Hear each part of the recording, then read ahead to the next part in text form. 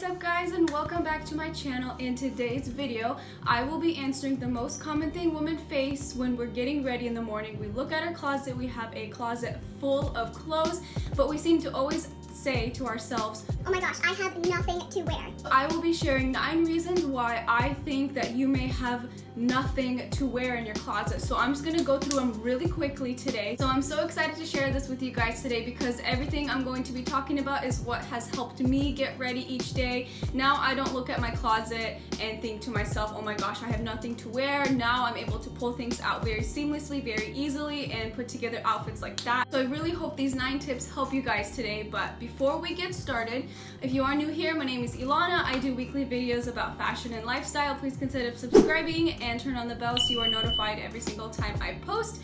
And let's go ahead and get into the video. So the first reason why you may think you have nothing to wear is you're lacking the basics. So something like a black and white t-shirt, um, your favorite pair of blue and black denim jeans, maybe a denim jacket, a couple blazers if you're into that. So having these few basic pieces in your closet are the foundation of your outfit. So for example, just having a basic white t-shirt, you can really keep it casual with just jeans and a sneaker, or you could dress it up with a blazer, some nice jewelry, and then some heels with that. So there are so many different ways you can dress up just like a simple basic white t-shirt in your closet. So just take a look in your closet, see if you're missing any of those basic pieces, so like uh, basic t-shirts, some jeans, maybe a few uh, staple outerwear pieces. If you guys would like me to do a separate video all about basic pieces, just hit the like button and I'd be more than happy to do that. But go ahead and take a look in your closet, see if you are missing any basics because that could be the reason why you have nothing to wear. So the second reason why you may have nothing to wear is because your closet is full of way too many trendy pieces. And trendy pieces, I know they're so fun to play around with and dress up and just try different things. I know it's so much fun, but sometimes we have way too many trendy pieces, it becomes harder to style. So just simply take a look at your closet, um, see if you have too many trendy pieces. I know a lot of them can be really cute, but you know, let's be practical. Sometimes these trendy pieces are really hard to wear or style. Um, so just take a look, see if you have too many trendy pieces. If you do, uh, maybe consider buying some, some more staple pieces like basics like we just talked about. So make sure you have the core foundation and then you can start playing around with trendy pieces. Also just recently did a video all about spring trends, all about wearable spring trends. So I'll link that video in the description box below. It's a really good video if you are thinking about buying some trendy pieces, but they're wearable and they're practical and they'll last you for years. So I made a video all about that. I'll link it down below in case you guys are interested in watching it. And number three, why you may have nothing to wear. This is probably my favorite point, but it's your clothes don't fit you properly. So a lot of times we settle for, let's say a t-shirt or a shirt, blouse, that we look at it and we're like, oh my gosh, this is so cute. And then we put it on and it doesn't really flatter us in the proper way. I mean, I know this by experience. I have had to get rid of so many of my clothes because I actually really liked the piece, but it just didn't flatter my body shape. It didn't fit me properly. So we end up wearing it maybe a few times, but then it kind of just sits in our closet. We look at it, we're like, oh, this is so cute, I want to wear it, but it doesn't flatter us in the right way, so we don't really grab it as often because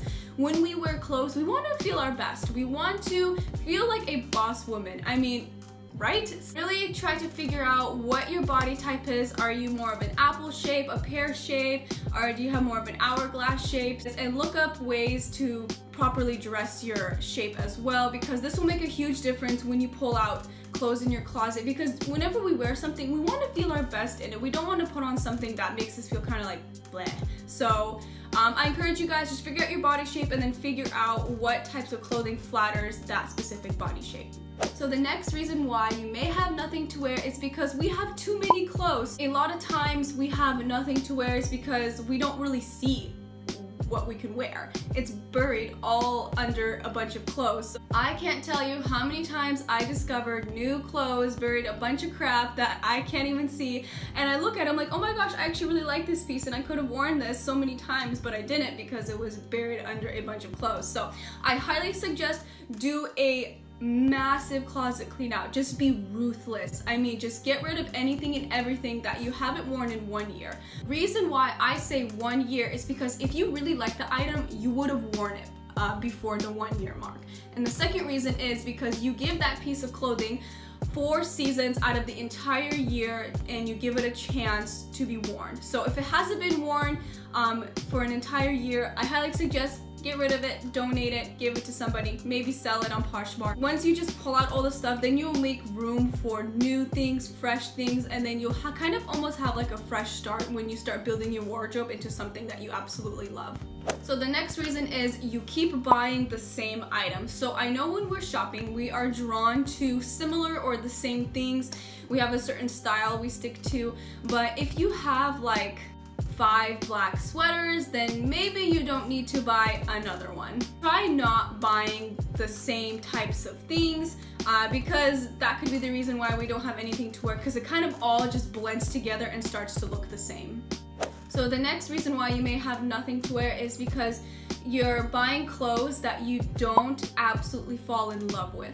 I mean, whenever I go shopping, in order for me to purchase an item, I have to completely fall in love with it. So my point is do not settle. So if you're looking at an item and you're thinking to yourself, well, this is okay, I'm gonna get it, don't buy it. Do not buy clothing unless you completely fall in love with it. Make that rule for yourself when you go shopping. I always make this rule. Yes, shopping is a little bit slower and building your wardrobe is a little bit slower when you use this technique, but it seriously works guys. Now when you start building off of things that you absolutely love and you have to wear them, then instead of looking at your closet and you're like, oh my gosh, I have no idea what to wear, you'll be like, oh my gosh, there's so many cute clothes. I don't know which one to pick because there's so many cute outfits I could wear. So you want to go in that direction rather than the other directions. Just do not settle.